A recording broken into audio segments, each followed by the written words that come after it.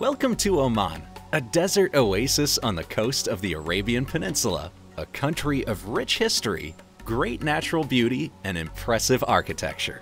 Your tour starts inland at the 17th century Jibrin Castle, with views of the mountains and date palm plantations.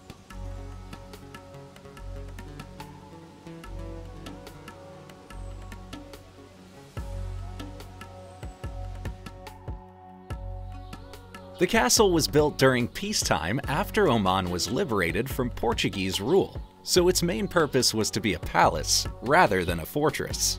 Its interior, with elaborately painted ceilings, is nicely preserved.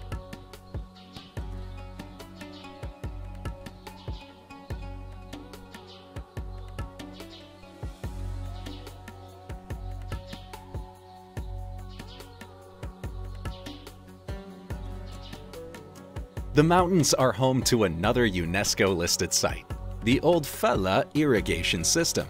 The ancient water channels can be found in a ruined traditional village. Since the site is not maintained, it takes guts and proper shoes to explore the ruins.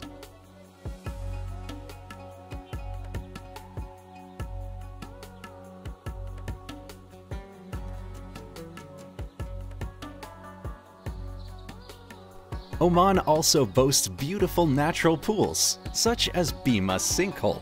The hole was created due to limestone erosion and reaches from only a few feet to over 300 feet.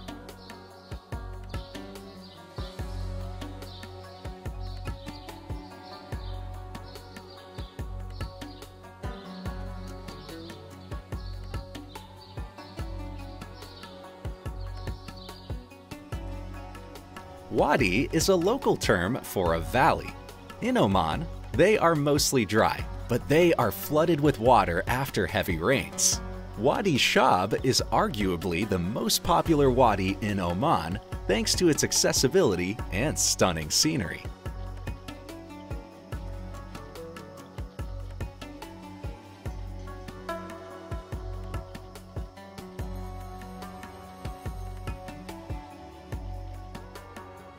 The best experience in Wadi Shab is swimming in the water pools tucked in between the rock formations and its underwater caverns.